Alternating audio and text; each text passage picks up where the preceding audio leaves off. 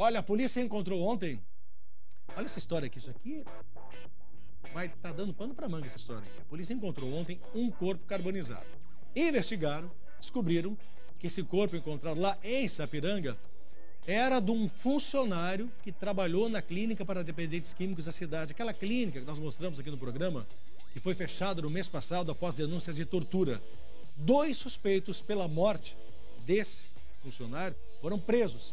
Entre eles, o coordenador da clínica, que já tinha sido detido lá na primeira intervenção da polícia, no momento em que, logo após as denúncias de maus tratos, tinha sido solto e foi preso novamente. Suspeita da polícia?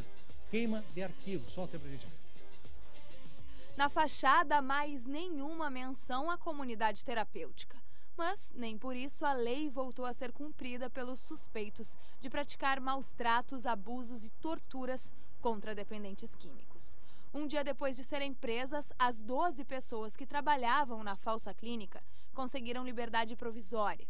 Soltas, algumas continuaram a cometer crimes começaram a ameaçar internos, ameaçar assistente social do município e cometer uma série de irregularidades, ligar para a família dos internos, avisar, dizer que a clínica seria reaberta e uma série de outras coisas.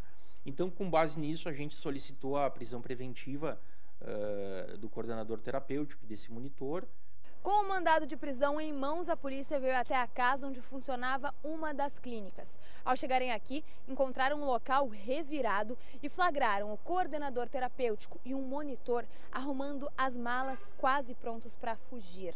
Segundo a investigação, o plano era se mudar para Santa Catarina, onde eles abririam outra clínica. Enquanto cumpria os trâmites da prisão, a polícia foi informada de um corpo encontrado carbonizado no bairro Porto Palmeira, zona rural da cidade. Os investigadores acreditam que a vítima pode ter sido queimada viva. As mãos e os pés estavam amarrados para trás e dentro do bolso a perícia encontrou um documento. A carteira do Exército era de Ivan Carlos de Oliveira, 44 anos. Ele era um dos monitores da clínica preso há duas semanas. A necropsia vai confirmar a identidade, mas a polícia já tem um suspeito do homicídio, o coordenador terapêutico. Ainda na época da primeira operação, os agentes apreenderam este carro. A pedido da defesa, a justiça determinou a devolução do veículo ao suspeito. A gente restituiu, mas colocamos um GPS no carro. E, e aí o que, que aconteceu? Uh, foi devolvido o veículo com GPS. Quando apareceu o corpo, fomos verificar o trajeto do GPS. O GPS mostrava que o automóvel esteve justamente no local onde o corpo carbonizado foi encontrado no sábado, mesmo dia do desaparecimento da vítima.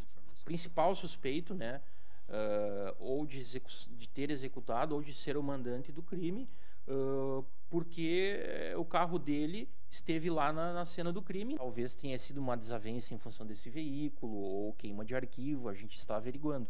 Mas uh, em função da, da, da, amostragem do GPS, ele passa, o coordenador passa a ser um grande suspeito. Né?